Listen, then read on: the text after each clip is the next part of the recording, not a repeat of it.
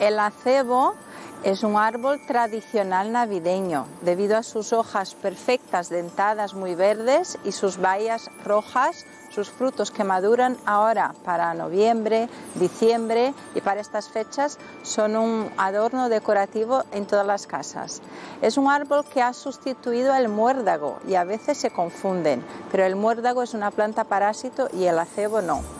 La madera del acebo ha sido muy apreciada y una curiosidad es que las ventanas del Palacio Real de Madrid están hechas de esta madera desde su reconstrucción. Tiene propiedades medicinales, laxantes y diuréticas a partir de la infusión de sus hojas. Y puestos a presumir, yo